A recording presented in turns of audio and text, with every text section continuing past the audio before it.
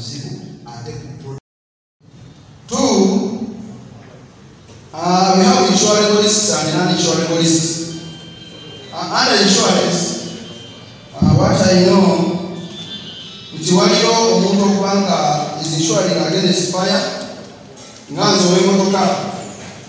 naye emmotoka yange nefuna accident nekwata omuliro kati ogenda mu insurance the assessors would always say.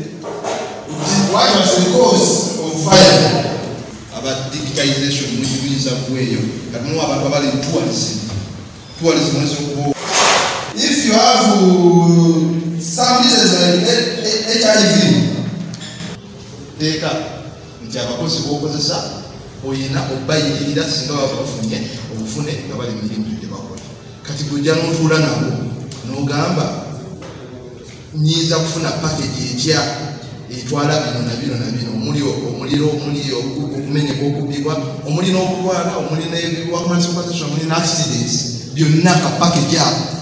Ate nga kasente etono mwatu so kati ebyo byetwagala okubanyonyola n'ekirala ekikulu n'ekirala ekikulu ah, era uganda insurance association and not man than